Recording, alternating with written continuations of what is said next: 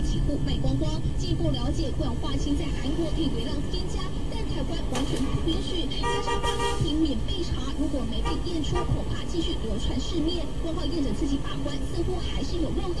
欧美的消费者万万没想到，想让肌肤骨溜骨溜变白，却反而用了双氧水面膜刺激皮肤。今日变新闻王富华、徐庆云台北报道。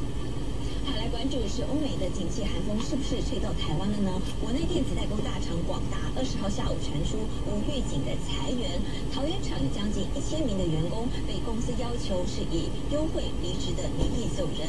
广达高层也证实了这个消息，主要是因为黑莓机 RIM 的平板电脑订单锐减，导致生产线的员工过剩。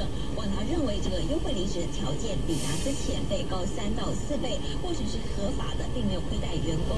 至于在大陆厂，的六万名的主力员工则是不受影响。